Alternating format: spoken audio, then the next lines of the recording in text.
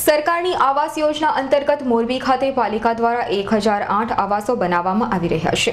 અગિયાર કરોડથી વધુના ખર્ચે ચારસો આવાસોનું કામ પૂર્ણ થયું છે.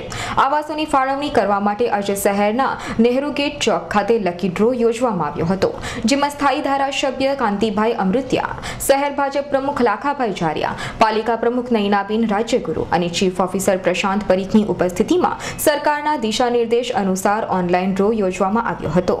કમ્પ્યુટર સિસ્ટમ આધારિત ડ્રો કરીને છસો પૈકીના ચારસો લોકોના લકીનામો ખુલ્યા હતા, જેને આવાસની ફાળવણી કરવામાં આવી હતી.